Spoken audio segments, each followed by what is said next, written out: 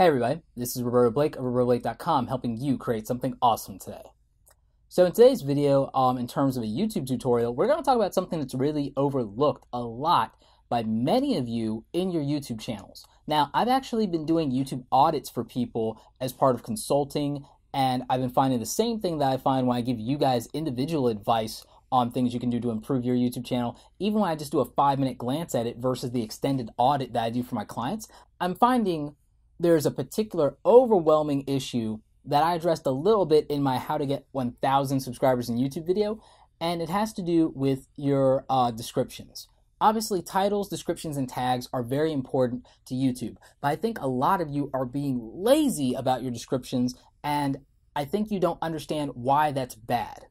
So if you guys look at the descriptions for my videos, almost none of them are less than 100 words. Not 100 characters, 100 words. But many of them are between 300 to 600 words, almost a whole blog. And aside from wanting to be able to take content from that and move it over to my blog when I post a video over there later at robertoblake.com slash blog, there's a bigger reason why I do that. It's because from doing blogging and being able to get um, things like my article on the best laptops for Photoshop into the first page of Google, competing with huge, huge um, publications online and still getting into the first pages of Google for stuff like that, or you know um, how to build a Photoshop PC or whatever, I can rank on the first page of Google for that based on the same things that I'm applying to my YouTube videos to get on the first page for content there in YouTube as well.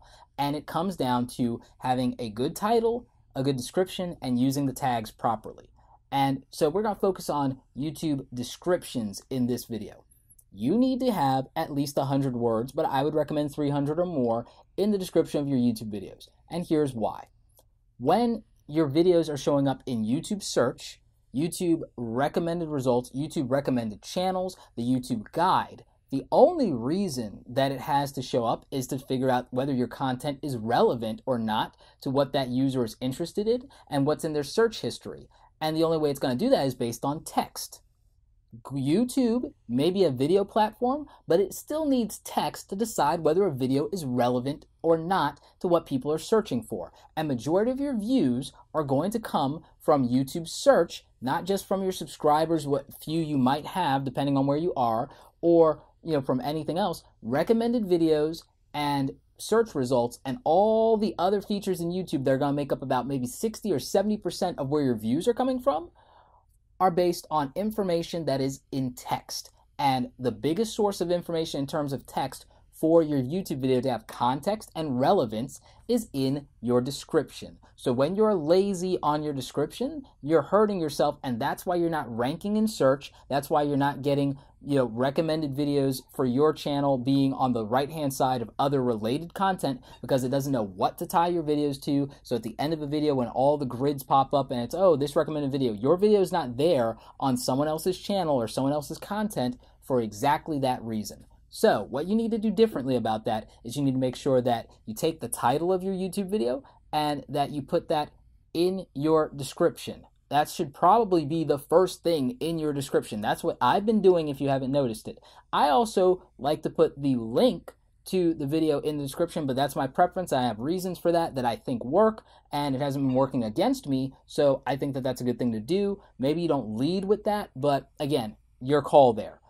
And don't make your description text spammy. Make it something that if someone were to read it, that they would have context for what the video is.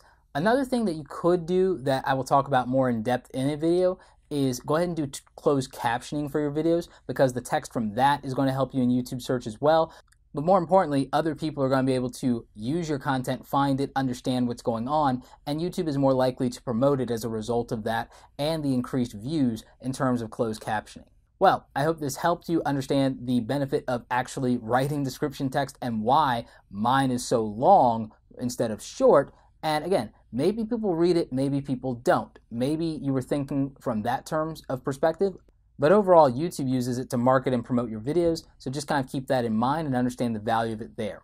Anyway, if you still have questions, leave those in the comment section below. Like this video if you like it. Don't forget to subscribe. Check out the other awesome content on the channel.